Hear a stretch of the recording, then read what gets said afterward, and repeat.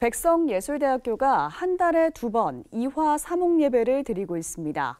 이 예배는 하나님과 사람, 사람과 사람 사이의 화목을 꿈꾸며 드리는 예배인데요. 올해 들어 코로나19로 예배를 드리지 못하게 되자 학교 측이 처음으로 온라인 콘서트 형식으로 열린 음악 예배를 드렸습니다. 보도에 고석표 기자입니다. 백석예술대학교는 한 달에 두 번 이화 사목 예배를 드리고 있습니다.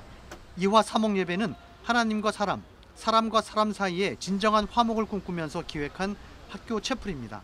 그러나 올해 들어 코로나19 여파로 한 번도 예배를 드리지 못하게 되자 학교 측이 온라인 콘서트를 기획하고 우리 숨소리 문화예술단 바우밴드를 초청해 열린 음악 예배 형식으로 이화 사목 예배를 드렸습니다. 바우밴드는 예수님의 목소리를 주제로 성경 속 이야기를 우리나라 국악가락에 맞춰 연주하고 노래를 불렀습니다. 피리와 대금, 가야금 같은 국악기와 기타와 드럼 같은 현대 악기가 어우르는 퓨전 국악 앙상블 공연입니다. 객석에 이제 관객분들이 계신 거랑은 또 다른 느낌이고 또 다른 부담이었어요.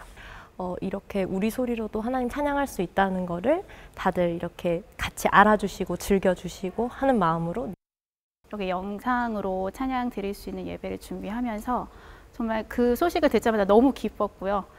정말 하나님께 영광 돌려드릴 수 있는 그런 예배를 준비하게 됨에 정말 감사드렸고 온라인 콘서트 예배이기 때문에 객석은 텅 비어 있습니다. 40분가량 진행된 예배 모습은 백석예술대 앱으로 실시간 전송됐고 학생들은 여기에 접속해 예배를 드렸습니다.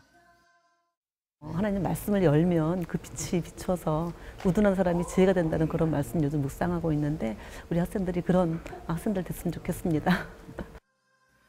백석예술대학교는 이화 사목 예배를 통해 예수 그리스도의 향기를 온누리에 전하기 위해 노력하고 있습니다. CBS 뉴스 고석표입니다.